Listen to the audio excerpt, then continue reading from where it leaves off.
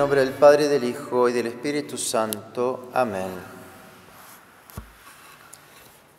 Mis queridos hermanos, hoy festejamos al mártir polaco y obispo de Cracovia, San Estanislao, cuya vida tan ejemplar y no menos extraordinaria por las cosas que vamos a relatar, la Iglesia quiere recordárnosla cada año en el Santo Oral.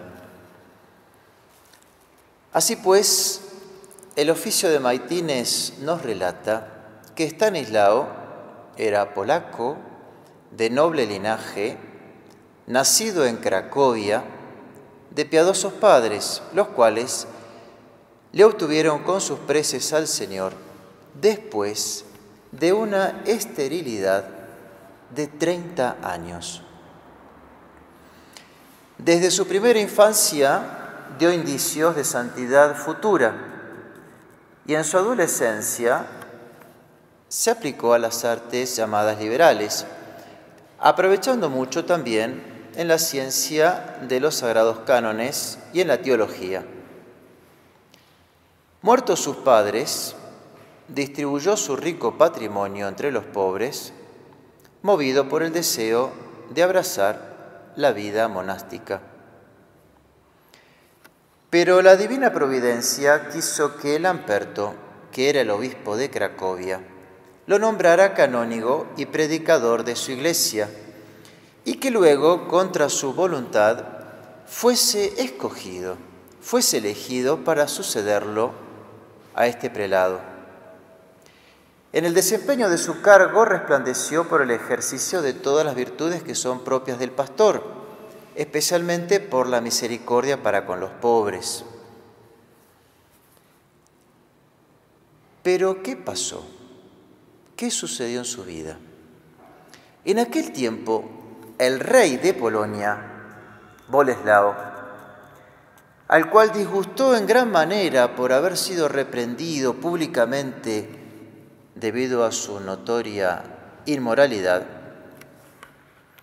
entonces suscitó calumniadores que en una asamblea solemne de su reino citaron a San Estanislao para que compareciese a juicio ante él, calumniándole como si hubiese él tomado posesión injustamente de un terreno que supuestamente había comprado para la iglesia. No siendo posible para Estanislao probar su inocencia porque él no tenía documento y los testigos temían declarar la verdad ante el rey, prometió, prometió que haría comparecer dentro de tres días a juicio a Pedro, el que le había vendido el terreno, que ya tenía tres años de fallecido, de muerto. Como toda la corte se burlasen de la condición que propuso el santo, el hombre de Dios se entregó durante tres días al ayuno y a la oración. Y en el mismo día en que terminaba el plazo señalado, después de ofrecer el santo sacrificio de la misa,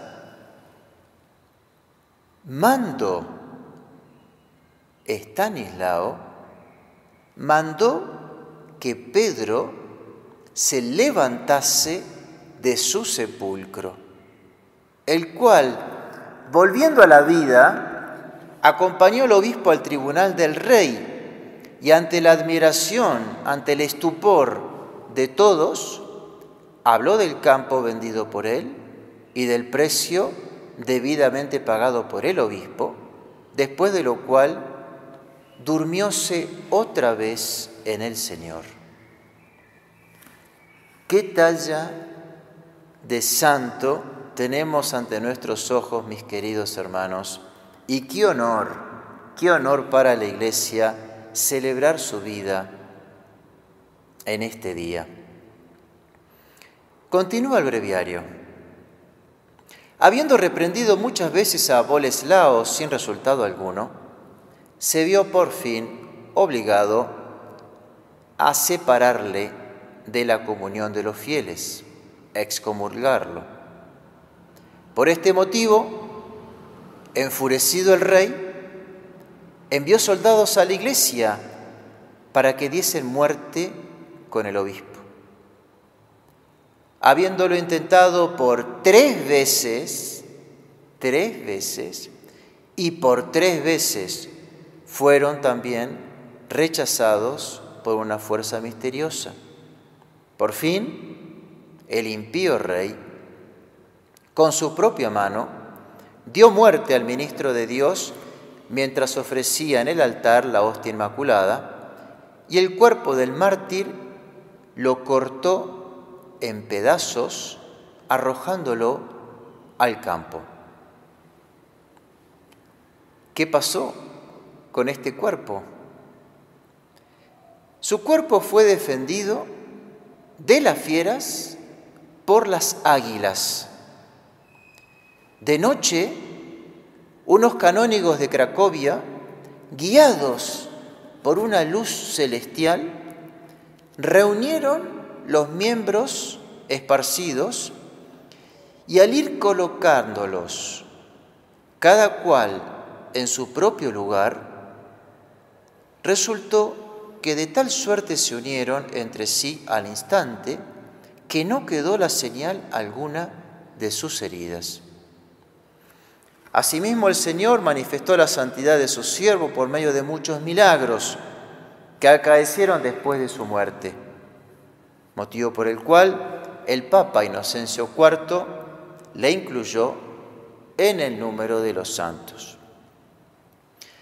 Pues bien, mis queridos hermanos, qué mejor que para cada uno de nosotros este deseo que tiene la Iglesia en la oración del día, a saber, suplicarle a Dios que todos los que invocan el auxilio del glorioso pontífice Estanislao, que ha sucumbido bajo la espada del impío, consigan el saludable efecto de su plegaria, el saludable efecto de su protección. Que María Santísima a quien con toda razón llamamos la reina de los mártires, y que también por intercesión de San Estanislao recibamos esa fortaleza cada uno de nosotros para seguir perseverando sin desfallecer en el cumplimiento de nuestro deber de Estado, en esa aceptación de las pequeñas cruces que cada día tenemos que sortear para alcanzar el cielo. Ave María Purísima, sin pecado concebida. En el nombre del Padre, del Hijo y del Espíritu Santo. Amén.